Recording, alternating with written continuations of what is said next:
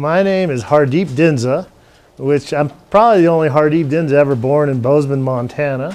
Uh, but that's where I was born. And uh, just to let you guys know, I'm an ophthalmologist who specialized in retina disease. I trained at Baylor and uh, then I went overseas for 10 years. And so um, got a, a ton of experience. If we combined everybody's ages in here, I'm probably older than everybody combined in retina dog years after working for 10 years overseas. Um, how many people here either have or know someone who has macular degeneration? All right, so pretty much almost everybody here.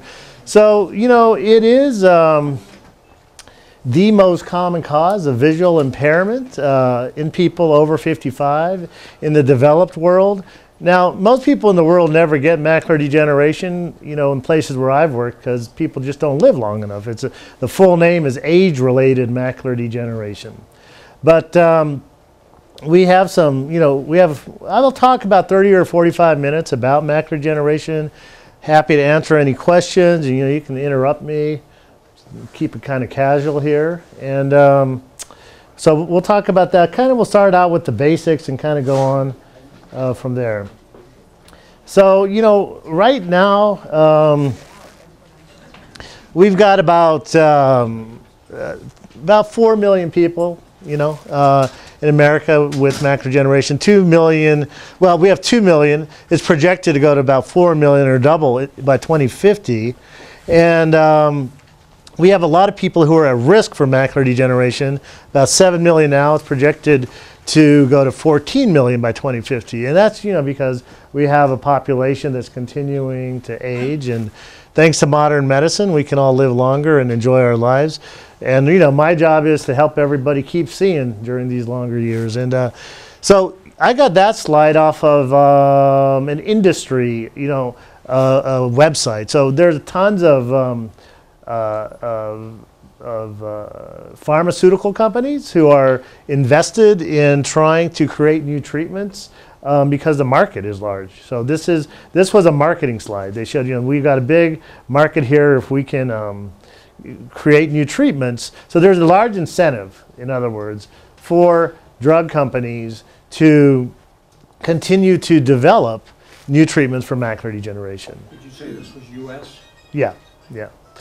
So so, as I mentioned, it's a leading cause of visual impairment in people over 55. Diabetes is the leading cause of visual impairment in people under 55. And we have a lot of patients now who have diabetes and macular degeneration, and we got to treat both. Um, the full name is age-related macular degeneration, and it is part of the body's natural aging process. So just, uh, you know, I, am a retina guy, I'm a macular guy, but I, I, you know, the, for me, the whole purpose of the eye is to focus light on the macula. So when light comes into your eye, like that's illustrated by that beam right there, it comes through the, and I'll show you a little bit more uh, diagrams, comes through the cornea and then through the pupil, then the lens focuses it, and it all comes right down there. That entire orange structure is the retina. The center of the retina is the macula, and all the light is focusing, coning down into the macula. So that's where your sharpest vision, your color vision is. And uh, so this is just you know some basic eye anatomy just to orient us. So you know when light comes into our eye, it, it gets foc it initially hits the cornea right here. When people have LASIK, the cornea is reshaped. So the cornea starts to converge those light rays. It comes through the pupil, and then the lens here. Um, the lens further focuses the light right to right into here into the center of the macula, and it's also illustrated right here. Just this isn't really macular degeneration, but you see how that lens has a certain amount of thickness.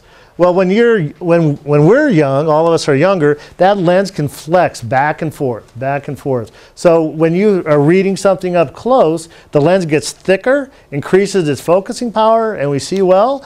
But then as we get older, that lens becomes stiffer. So we have a harder time you know, seeing things up close because the lens can't thicken.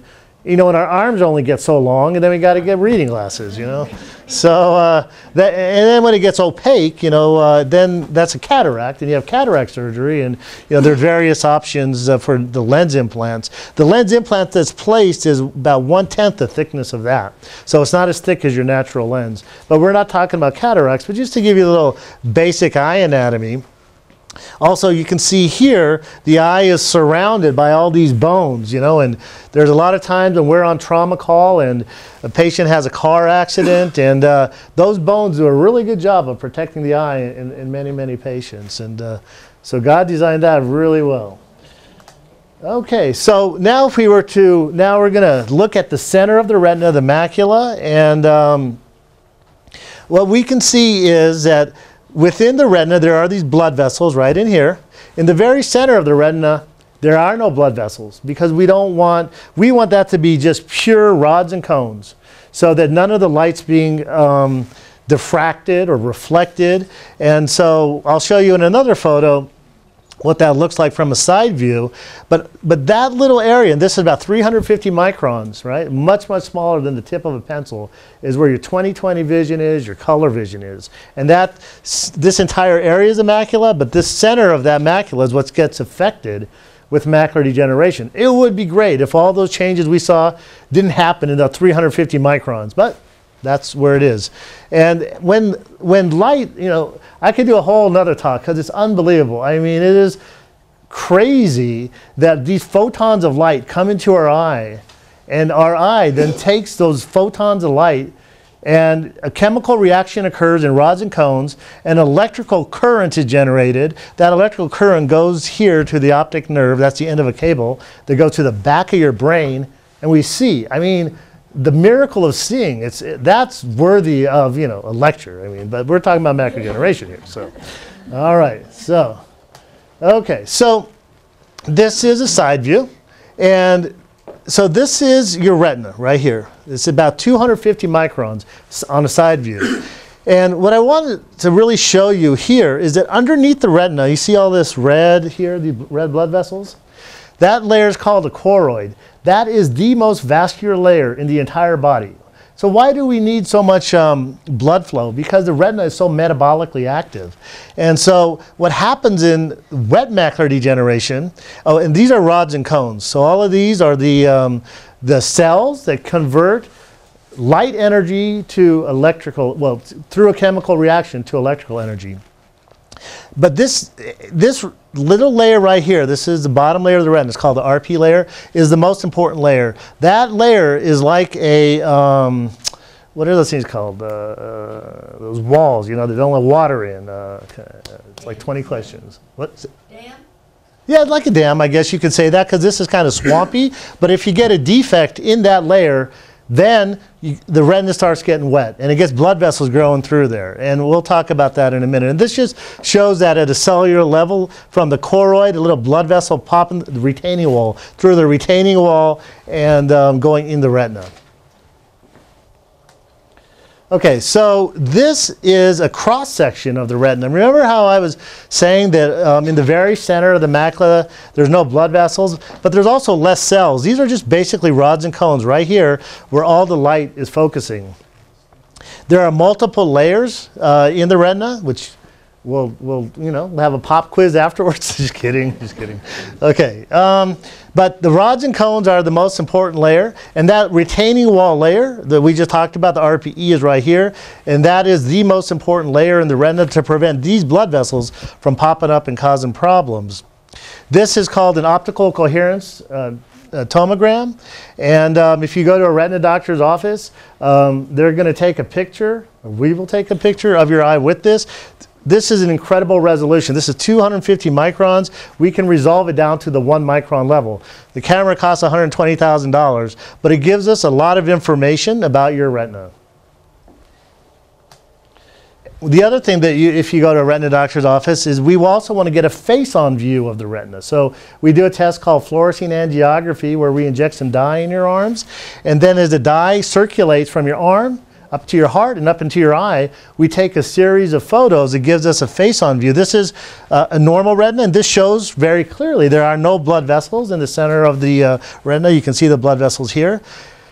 And, and it, whereas this patient has wet macular degeneration and there's some leakage of new blood vessels there. So you can see the information that an angiogram provides. So if you have this diagnosis, we're going to uh, of macular, or something we're trying to figure it out, we're probably going to do both of those tests. And then we also use those tests to follow the effectiveness of the treatment. Now, am I giving you guys too much information, speaking too fast? Is it clear? Okay, just, I'm happy because, you know, anyway. All right, so what are the symptoms? So remember, it damages the center of the retina. If you have blurry vision, distorted vision, where straight lines look crooked, or if you have a dark spot in your vision that's either right in the center or right off center, those can all be signs of macular degeneration. Now, one of the things is that many of us, we, um, including myself, we all like to doctor ourselves and we'll go, you know, look up on the internet, my vision's blurry and you'll see cataracts. So many patients think that their vision loss is due to cataracts and uh, it's really not that um, not always the case. And then people will come to us late. So if you have vision problems, you know, you need to see an eye doctor. Um, and also, I don't know, does, any, does everyone know the difference between optometry and ophthalmology? That's kind of an important thing. So an ophthalmologist is someone who's gone to medical school, uh, and an optometrist who's spent four years uh, during their college year specializing in eyes. We work together.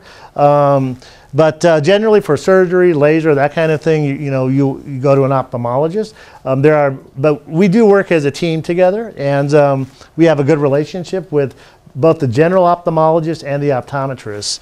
Um, I guess just to let you know, so, you know, to be an ophthalmologist, you do four years of medical, well, four years of undergrad, four years of medical school, a year of internship, three years of residency, and then in my case, I did two years of retina research and a year of a retina fellowship. So it takes a while to get to that level. I mean, you're looking at specializing, you know, 350 microns of tissue. So it takes, you know, like 11 years. But, uh, so, all right. So the activities that can be affected. So if like what, if your loved one says, you know, they're having a hard time reading or doing close work like knitting, um, and then especially if they complain about driving, you know, you needed them to see an eye uh, person, uh, you know, sooner than later. But blurry vision, distorted vision, and a dark spot, those are the key symptoms of this condition. You never go blind, right? You never go blind from macular degeneration. That's like a really important thing to realize. But you, you do get this loss of central vision. So, you know, this, you know, poor lady can't see her, her, her son playing soccer, can't see his face. So, I mean, it has a huge visual impact on people.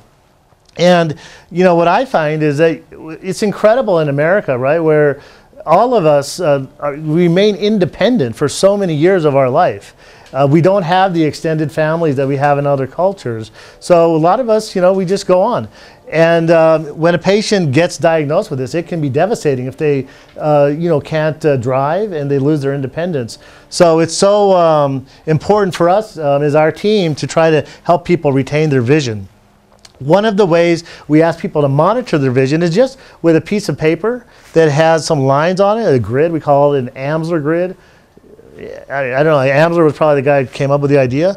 But um, if you look at this piece of paper at the central dot, one eye at a time, and you notice distortion like that, that means you probably have macular degeneration. And we ask all our patients to monitor their vision with that grid, and if they notice a change, to let us know.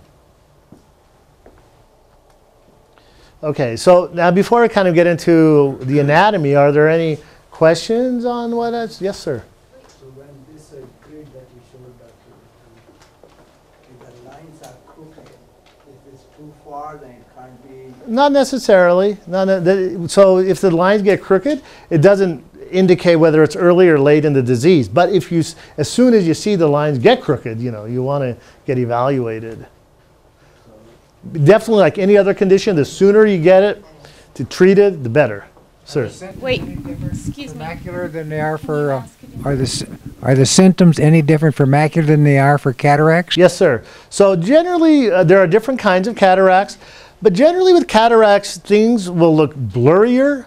Um, you will have dimness and you will have glare, or one of those three symptoms but you won't have distortion. See, distortion is a really important point. And you won't have a blind spot either in, in the center or right next to the center. That's more related to macular degeneration. But, uh, you know, uh, once you get past 50, it's definitely worthwhile to have regular eye exams because the other thing to remember is that whether you have cataracts or retina problems, you don't have any pain with it. And the other thing to remember is you got two eyes.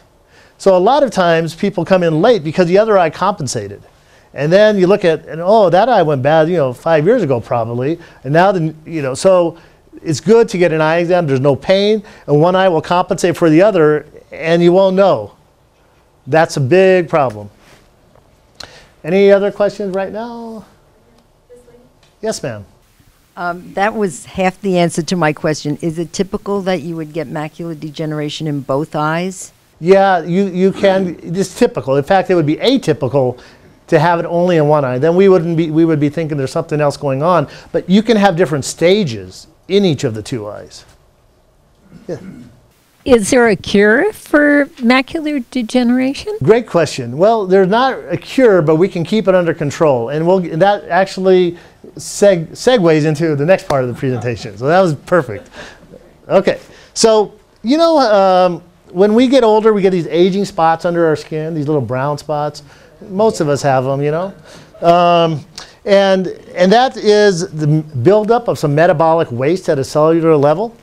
Those brown spots um, in the retina can occur, like these, but they're yellow, and we call them drusen. Drusen means little pebble in German. So it was a German guy who first discovered these in the early 1900s.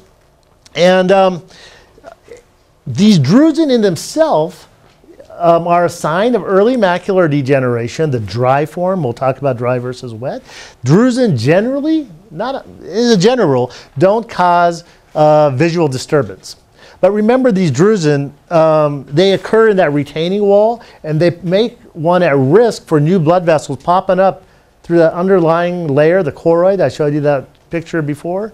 And um, so they, they, they weaken the retaining wall and can make one have a, a, a, an increased risk for wet macular degeneration. So when you come into my office, I'm looking at the number and the size of drusen because I, I will categorize you in five different levels of this early dry macular degeneration and let you know if vitamins will help. Vitamins are not necessary for everybody with drusen, and um, we'll talk about that in a, in a few minutes. But that's the early stage of dry macular degeneration, usually not, not visually significant. This person's lucky because they don't really have any, maybe that one, drusen in the very center, because that's really what counts, that very center. The center of the macula is called a fovea, uh, just, uh, um, I don't know, for interest. Um, now, when people talk about dry macular degeneration, a lot of folks correctly have the understanding that dry macular degeneration generally doesn't cause vision loss.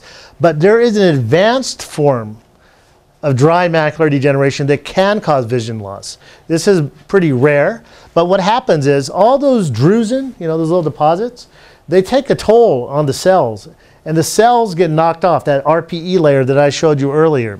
if those cells get knocked off, they should probably use a you know more politically correct word, atrophy, I don't know. Then you can have visual loss. This patient um, has advanced dry macular degeneration with cell loss. And you can see the scalloped edge right here. The bottom layer of the retina, that RPE layer, that's the, the barrier layer, is gone. And you can see these larger uh, orangish blood vessels. Those are the layers of that underlying um, layer underneath the retina called the choroid. You normally don't see those. Like over here, you don't see the choroidal vessels. Here you can see them because this entire area of cells has been wiped out. And this is the center of the macula. So if those cells are wiped out, that can affect vision. So the underlying point is, even with dry macular degeneration, there are a very small percentage of patients who can have vision loss. But 99% of people with dry macular degeneration don't have cell loss and don't have vision loss. Just to be clear about that. Then the, the, thing that we're going to talk about next now is wet macular degeneration. So in wet macular degeneration, as I showed in that earlier slide, that barrier gets disrupted, new blood vessels pop up from the choroid. These new blood vessels can leak fluid, which they generally leak fluid. They can bleed. This patient has some bleeding. Um, and these blood vessels, think of them like um, the roots of a tree. When they grow, uh, they, they are thick and they scar. And that scarring is what leads to permanent visual loss. So we want to get, you know, in, in response to your question, sir, we want to get to those blood vessels when they're just little baby dandelions and knock them out before they become this huge scar. Okay? And, um, and so this is a patient with a color photo, which shows the blood around the macula. On the angiogram here, the blood is blocking some of the uh, fluorescence. But then in the late frames, you can see where there's this abnormal leakage where it's really white there. So that angiogram helps us, along with the OCT, in helping to figure out uh, what the uh, cause of the uh, abnormalities are. You can have both. So this patient, this has a scalloped edge here of dry macular degeneration. Uh, you can see the underlying choroidal vessels, but they also have blood in the middle. So they have advanced dry and wet. So you can have both kinds of macular degeneration in one eye. What are the risk factors? Well, age, right, is the biggest risk factor. It's very rare for anyone under 50, 55 to get uh, age-related macular degeneration. You can have other macular conditions, but not age-related macular degeneration. Northern European descent, being a female, positive family history, smoking, um, high blood pressure. I have smoking twice. Just to emphasize, you don't want to smoke. okay? You don't want to smoke. That is the biggest risk factor of all. Um, now, there have been a lot of uh, interesting genetic studies that have showed that genes that are involved in the complement pathway, which is a pathway that's involved in inflammation, um, is highly prevalent uh, in people with macular degeneration. So a lot of the neurotherapies are looking at um, anti-inflammatory medications, um, and that's also potentially uh, why antioxidant vitamins work, and we'll talk about that um, in a minute. And then, um, you know, as I mentioned before, the size and number of drusen are a big risk factor for wet macular degeneration. And that's something that we categorize as retina specialists. If you go to an optometrist or even a general ophthalmologist, they're not going to categorize the, the, uh, the level of drusen in your eye. They're not going to stage it from a level of zero to five, which you do want.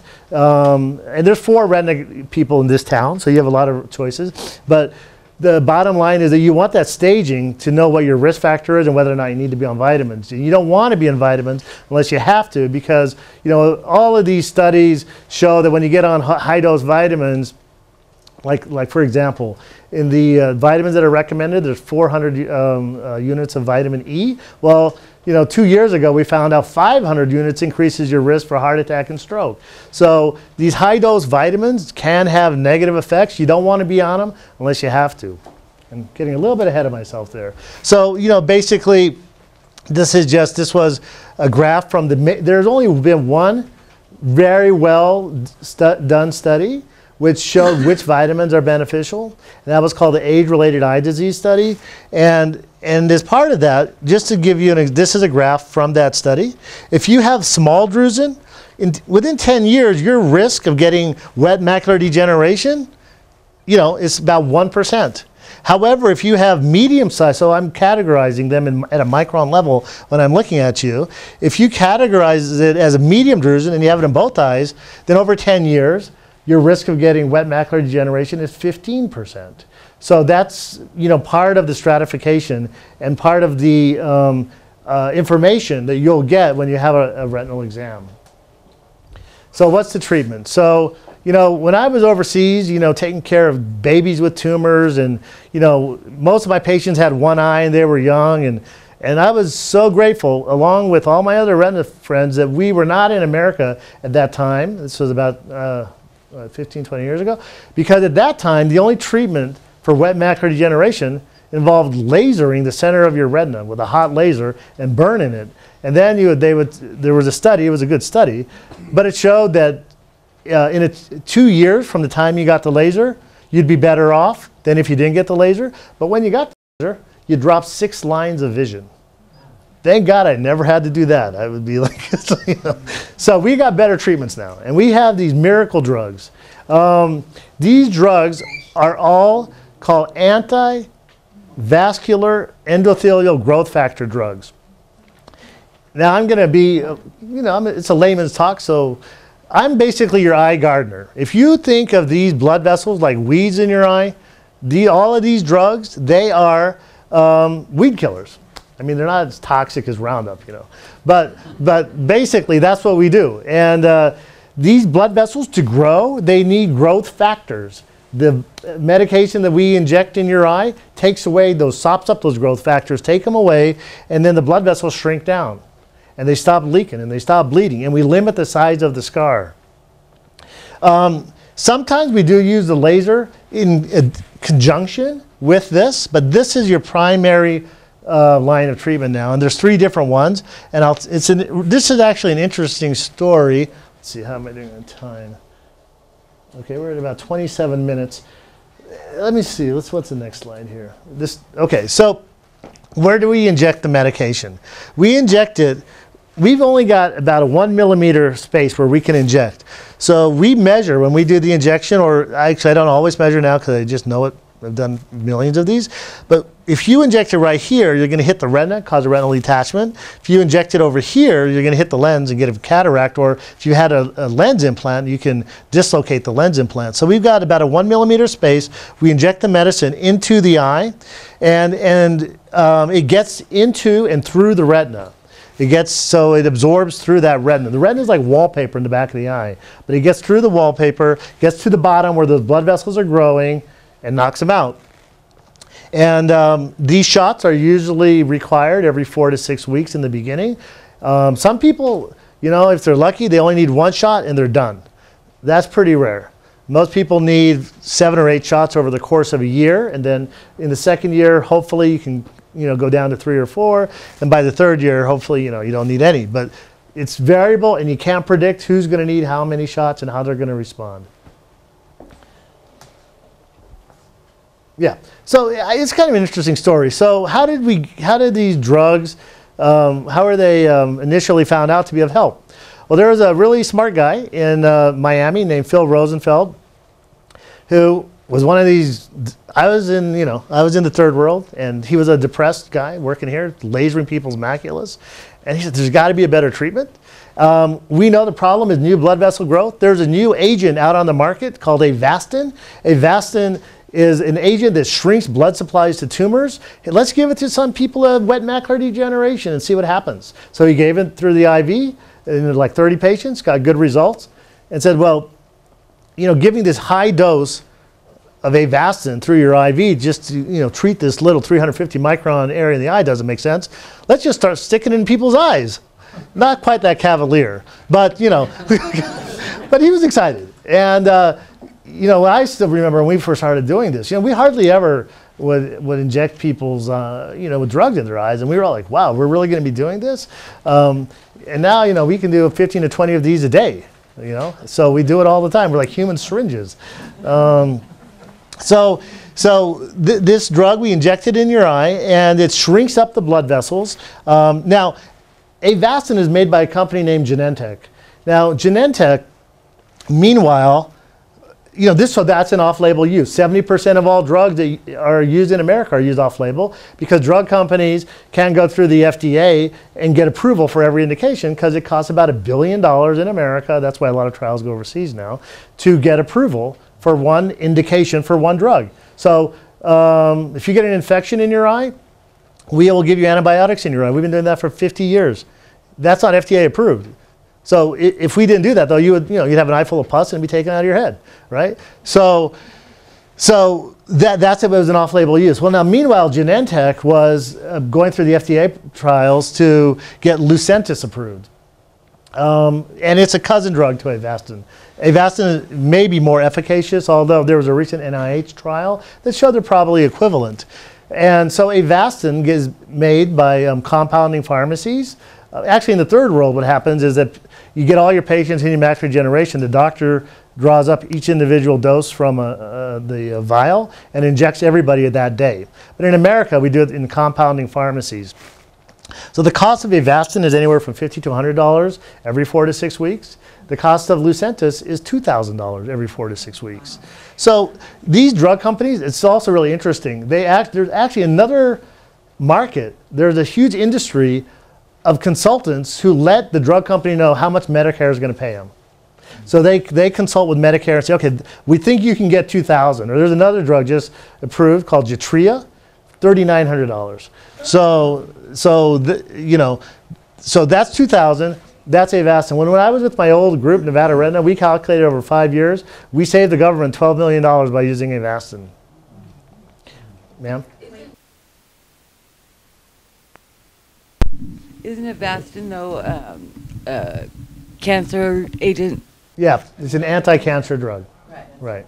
And isn't Eylea um, not uh, anti-cancer? Sorry. That's fine. So, so the, the, the latest drug that came out on the market is Eylea. They price themselves $200 less than Lucentis. But what's cool about Eylea is that it has the same um, mechanism of action is Avastin Lucentis plus one more. So remember I said these are all anti-vascular endothelial growth factor agents. This also has something called antiplatelet derived growth factor. So it knocks out another growth factor that's responsible for blood vessel growth. So we, um, if a patient doesn't respond to Avastin, we'll usually go to Eylea. You don't or you do? We do, we do. I usually skip Lucentis and go to Eylea if, if a patient not responding to Avastin. Most patients, 95% of patients respond to Avastin. And um, just, so that's what we use mostly. But if we're going to go to another agent, we'll go to Eylea, uh, at least in my practice. Now, just to let you know, there are, like in the Midwest, there are insurance companies that are requiring everybody gets started with Avastin, and only after a couple of tries with Avastin will the insurance company pay for Eylea to be used. So this is another huge issue for um, patients and for doctors. So if we, if I inject a $2,000 drug in your eye and the insurance company doesn't pay, either you have to pay or I have to pay. And I don't want any of us to have to pay. But these drugs are really, really expensive. So, okay, uh, now let's just go on to the next thing. Um, now, I don't, a lot of times videos don't work in these kind of presentations. Let's just see if it does work. It kind of depends on the resolution of the, uh, yeah. So I'm going to show you another thing you can do for macular degeneration. And this, I wanted to show you, well, I want to turn the lights out. You want to turn the lights out? Can we keep them on? Yeah, sure. I don't know. Okay. So this is this is I wanted to show this video so just so you get to see the retina, you know, kind of like in real life. So this is a patient who is having a vitrectomy. There's a gel that fills the back of the eye. And the surgery they're going to have is to move the macula to a new location. So we remove the jelly from the eye so we can access the retina. And then we inject fluid underneath the retina to actually detach the retina. And you can see these little um, kind of bubbles of fluid. So we're going to detach the retina. And then the next step is we're going to have all these bubbles of fluid coalesce. Okay, so this is an eight minute video, so we're just going to skip along a bit.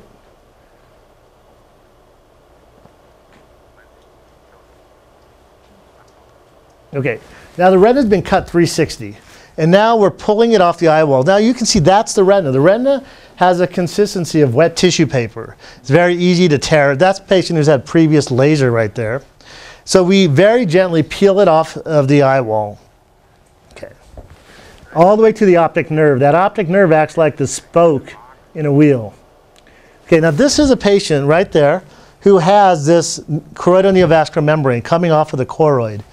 It has wet macular degeneration it's kind of thick, it's scarred, there's blood vessels there, and we're, what we're doing is we're releasing the retina from that scarred area. Okay. Will that tissue grow back? No, but we don't care because we're going to move the macula to a new location. So now, now we inject this heavy liquid in the eye. This is called perfluorooctane.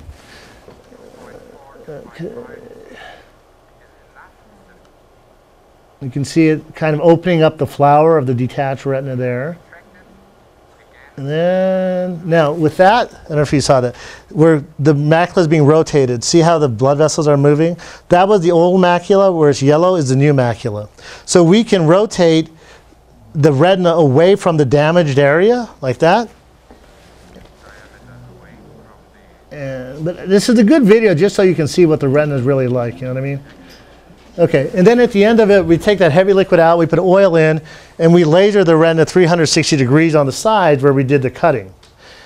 Now, this uh, surgery uh, is very rarely required. Most people don't need it. And it's usually you only reserve it for the second eye because it's so complicated. And in fact, right now, oh, there's only two of us in America who do this. Um, and the only reason I do it is because I'm, you know, 2,000 years old in retina dog years. Spent all those years in the third world. Yes, sir? Is that a laser you're using on the eye? Yeah, you saw. Yeah, that was a laser. Yeah. So, uh, so, so we only use. So that's another form of treatment where if you have your second eye and now you know um, it's gone to legally blind, which is 2200, which again is not total blindness, we can try to move your retina to a new location. This can be used for advanced dry macular degeneration and for wet macular degeneration. Now, if it works, which is about 40% of the time, unfortunately, only, and there's a reason for that, but if it works, then I rotate your retina 45 degrees, like you're really happy, except your neck is hurting because you got to rotate your neck 45 degrees because everything looks crooked. So what you do is two months later, you take the muscles of the eye and you and you and you rotate them 45 degrees and reattach them to the eye, so the eye gets straight again, and then everything looks straight. So, so yeah, yeah. So, so now let's just talk about what we can do to try to prevent things from getting worse. Number one is if you smoke, you got to stop. Um, keeping your blood pressure under good control. You know, we're not going to stop aging or, or our gender. You know, or uh, we're not going to have any like transgendered like surgery for this. You know. Um, and um, you know we're, we're born from whatever genes we have, and, and that's that. But but so this big study of about 4,000 patients, it was called Age-Related Eye Disease Study, funded by the National Institutes of Health, um, and it was done about 15 years ago. It showed that you could decrease the risk of wet macular degeneration by taking this combination of vitamins: vitamin C, E, beta carotene, zinc, and copper there's been a couple smaller studies that aren't, and that was a prospective, randomized, double-blinded, all the things that you want in a good done and well-done scientific study. There have been other smaller trials that have shown that the vitamin B6 and 12 can be helpful, maybe vitamin D and omega-3s. But the big thing is going to be in a couple months. So AREDS, age-related eye disease study, part two results will come out in the next three to four months. And they're probably, what they've done is they've taken out the zinc, they've replaced beta carotene, which is a form of vitamin A, with zeaxanthin and lutein. I know I'm sounding like I'm starting to, I'm going to go into a rap, right? Zeaxanthin, lutein. But, uh, but the reason that they did that is because when the first drug study was done, they couldn't get the form of vitamin A commercially processed uh, that's in the that's in the macula. You know that yellow part of the macula you saw in the video? That is lutein and zeaxanthin. Well, then they, they figured out how to manufacture that, put it into vitamins, and so. So I think I can't prove, you know, know for sure, but you know, probably lutein and zeaxanthin will be better than beta carotene. And there's also another arm of the study looking at omega three, which is found, you know, in in fish like salmon. So there'll be some new vitamin recommendations. And, and so basically, when you take these vitamins, if you have the early forms of macular degeneration, you cut your risk of getting wet macular degeneration by 25%. So that's a pretty you know, substantial reduction. Question? Yes. But you, I think they want to wait on the mic though. Uh, does is aspirin a positive or negative on degeneration? So great question. I was going to get that in a second, but let's hit that now. So about uh, two years ago, uh, the question was about aspirin. What about aspirin and macular degeneration? So there was a study that occurred in Europe a couple years ago that showed that patients on aspirin. Now, none of the, neither of these studies are great studies, but that study showed you had two times the risk of having wet macular degeneration if you were taking aspirin even a few times a week, not even a daily aspirin. So we all kind of looked at that like, hmm, that's interesting data because you know everyone knows aspirin's great for your body and know, whatever. Um, and so no one really made recommendations on that. Then another study just came out of Australia. Was published about a month ago, which confirmed, uh, again, not a great study, not a great study, but, but, but it did confirm that there could be an increased risk for wet macular degeneration um, if you are on uh, aspirin a couple times a week or even daily. They basically, uh, it was a prospective study. They followed 2,500, it was like, I don't know, 2,437 patients over 10 years. Um, 250 of them were taking um, aspirin um, on a daily basis, and half of, and the ones that were taking aspirin had twice the risk of getting wet macular degeneration as the ones who weren't.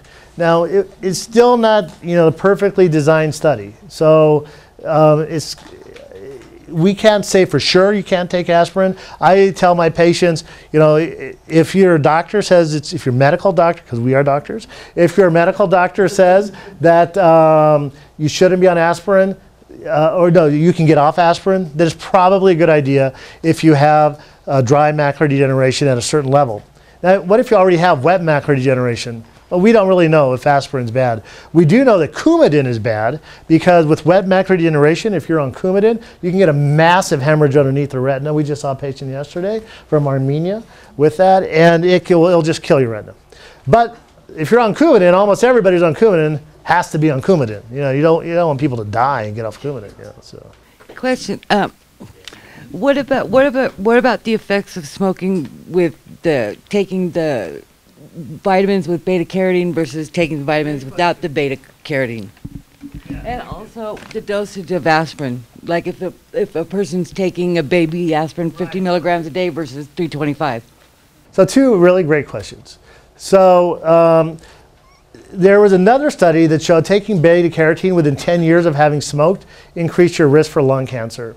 So there is a smokers, there it's a small increase, but there is a smoker's formulation of these vitamins that doesn't have beta carotene. In terms of the dosage of aspirin, you know, the people who were in these studies were taking various doses, including some who were just taking baby aspirin once a week. So we don't know what dose, we don't even know for sure if aspirin is a risk factor, but there's two studies that show it could be, and we don't really know what the dosage levels are. Smoking definitely. Smoking, oh my gosh, yes. How does Ocuvite fit in? Oxyvite? No, Ocu, is it Ocuvite? Yeah, so great question.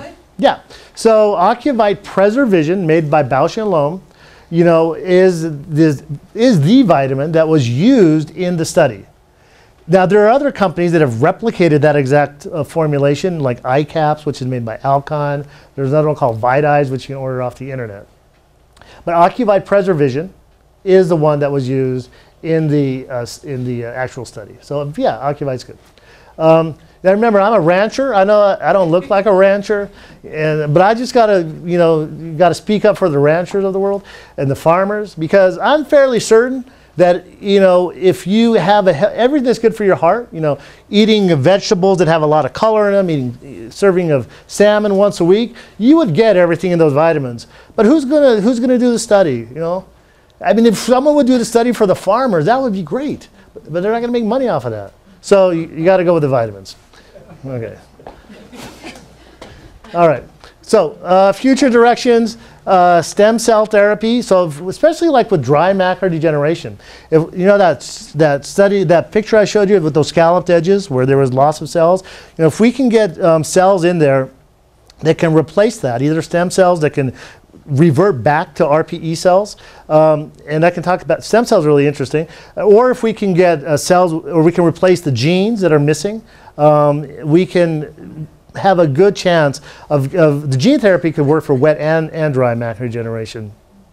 What's really cool, just I want to mention about stem cell therapies, about seven years ago, there was um, a group, I, I don't remember where they were from, but they basically showed that you can take any cell in your, human, in your body, even a skin cell, and you can just change seven genes, seven genes, you know, your body, each cell has, you know, millions of genes, and you can make any cell, including a skin cell, a stem cell. So you don't have to go, you know, like do the whole embryo thing, and which is great, obviously. Um, so that's an exciting area. And then the other thing, you know, that I mean, um, I love my patients. You know, my patients love me. I see my patients more than they see their kids sometimes because every four to six weeks they're coming in. You know, uh, and as much as we love each other, you know, it's hard to come in. You know, it's not like we're meeting for ice cream. We're meeting for a shot in the eye. so, you know, there's a lot of interest in long-acting, uh, you know, uh, uh, anti-vascular endothelial growth factor agents that could last three to six months or a year. Um, and you know, the farm, whatever pharmaceutical company comes up with that, they're going to have a gold mine. And patients will be happy. As much as we love our patients, we'll be happy because it is kind of a hard to like every you know day do 10 or 20 injections. Oh, yes, sir. You made a statement earlier today, well, it depends on who you see, your optometrist or general ophthalmologist. Now, if I have an orthopedic problem on my knee, I can go to an orthopod and I can find out who specializes in knee. If I have a rotator cuff, I can find a different orthopod to get to it. But something, if I have a problem with my eye, I may know what the problem is, but how do I know what specialist in ophthalmology to go to? I, in, in, in fact, you've just, I've just really become aware of that, that you've got that many specialties. Right, yeah, and that's a great question. So, you know, it's I'm going to answer that in a second, but you know, like even if you are an orthopod, you know how many weeks of ophthalmology you had in medical school? Two weeks, right? So even even an orthopod wouldn't even know what to do. Even another doctor wouldn't know what to do if he had an eye problem. Okay, eh, that's I mean that's how specialized we are, right? I specialize in this, you know, 250 micron layer of the eye.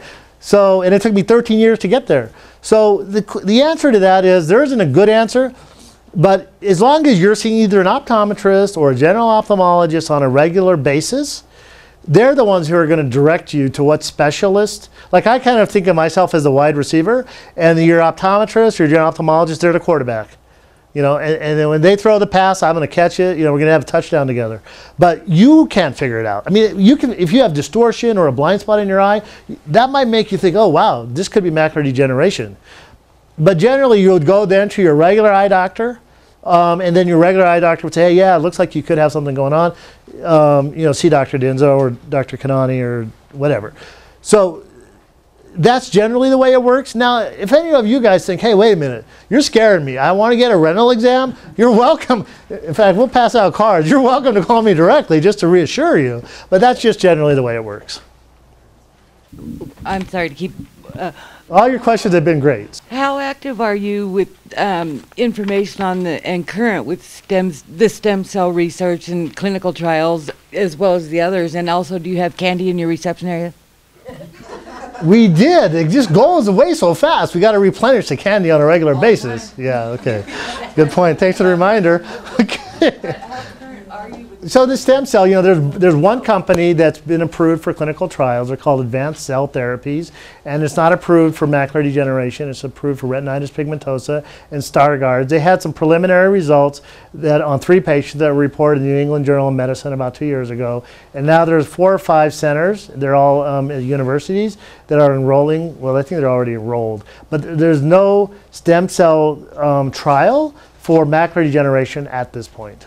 So if we come in and we want to know, um, my mom said to you, Dr. Dhindsa, what's going on with that stem cell research? Um, you're going to explain to her a little bit more instead of saying nothing. Yeah, absolutely. Like if anybody comes in and they want information on the latest cutting edge things, you know, I'll definitely ex- explain the trial, let them know if they're a candidate and if they're currently enrolling. You know, I mean, remember I came for like when I was overseas, I was in an academic environment for 10 years, uh, you know, a full professor. And so I have a huge interest in the academic side of, of medicine. As I tell my staff, I mean, for us, I mean, this is our practice exists for one reason, and it's a team, it's just not me. I mean, we're here to give you guys the best vision, to maintain your independence so you can read. That's why we exist. And if we can't uh, either direct you or offer you the cutting edge treatments, then we're failing at our job. So we take that really seriously. Yes, ma'am. Two years ago, I had cataract surgery. Um, So two years ago, you had cataract surgery. uh, This year, I found out that I had macular degeneration, both wet and dry. Why didn't they tell me at that time? Because when I went back to check, they found out that at that time I had macular degeneration. Why wouldn't they have told me that? So I, I don't know the exact answer to that on an individual level. Now, if you have really um, dense cataracts, so when I'm looking at your eye or your eye doctor looking at your eye, they got to look through the cataract. So if your cataract isn't clear and it's cloudy, they might, in it's early macular degeneration, it may not be easily detectable, right? Um, that could be one reason. Um, But it was in the charts when they went back, it said there that she has macular degeneration. Why wasn't I informed of that? Right? Now, sometimes what happens is that if it's really early, let's say you have one drusen. Let's say you come to my office, you have one small drusen, and I, I might not say, hey, hey, you've got macular degeneration.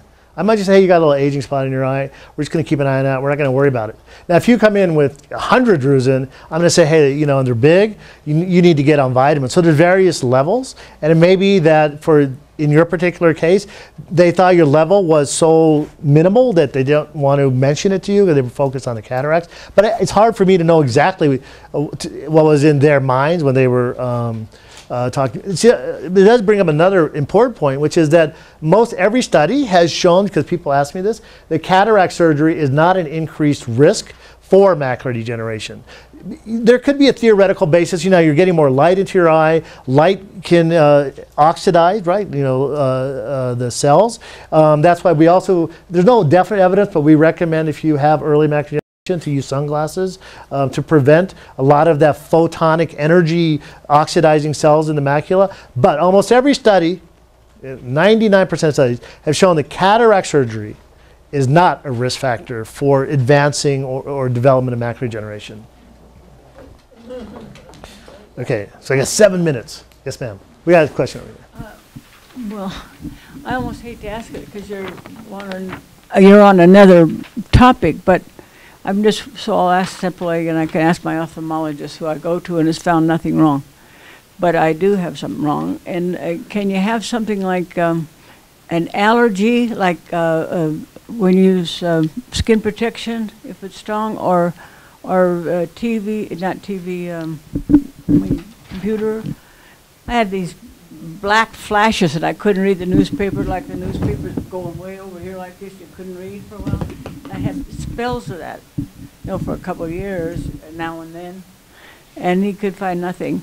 So I'm wondering, where, where would you go next? I'm going to see him again, and he's found some double vision in the other eye, but I don't have macular division. I don't have dry eyes. I don't have anything. So I got something. So you have this kind of this thing that's kind of floating in front of your eye and blocking your vision. Well, it's like it's like almost like if you saw pinking shears a longer, like it's going jagged like this, and then all the newspaper words would go over here, and I couldn't read. But then it clear up, I'd keep going like this, and pretty soon it'd clear up. And a lot of times it feels like if you just took your eye like this and you cleaned it out, you'd get a lot of goop out of there, but there's nothing there. Yeah. So that's a, so like just from your description, that could represent maybe 50 to 100 different things. So it's it's it's it's. He can't find it, but he's still looking, I guess. Well, good. I'm glad he hasn't given up on you. I was wondering, well, if you can't find it, can I come to you? Uh, we'd be happy, you know. Yeah, I yeah. answered it now because it seems a little inappropriate, but I'm asking now simply because I thought maybe it was something you ran across and wherever you were overseas. or- Uh, yeah, no, I mean that that's symptom, right? What's really interesting, by the way, about eyes is that um, it's really an amazing organ because I can look at your eye. Like a lot of times, you'll come to my office, and I'll just say, "Hey, you know, hold on a second. Let me just look and see what's going on." The rest of your body is covered by skin, right? So you got to the history is so important. But a lot of times, I'll just look in your eyes, say, okay, this is what's going on, this is what we're going to do. And that's how it was in the third world. So in the third world, you, I would see 100 patients a day. I wouldn't have to be documenting for Big Brother, putting things in computer, not being able to talk to you. I just say, hey, this is what you got, this is what we're going to do. Um, and then I would start saying, these are the risks. They would say, do you believe in God? Can you treat me like your father? I'd say, yes. They'd say, okay, let's go. Shut up, fix me up, you know? So I miss those days. Anyway, so, yes. Uh, Dr. Dhindsa, you know, uh, I, you were my one of the doc, doctors at Nevada Retina Associate. I haven't seen you for the last two years. Yeah, we miss you. so, and I was recommended to go, come and see, you know, retina specialist. And every year I went, and there was nothing. Last time was six months ago when I went. This in my left eye, I had developed uh, this macular degeneration and uh, the crooked lines, and they said there's nothing they can do about it. So sometimes it can be that you have drusen, you know, those spots that get right in the center, and sometimes that can cause that visual disturbance, and, and we can't get rid of drusen. We've tried various things. That may be, I don't know for sure, but that could be what's going on.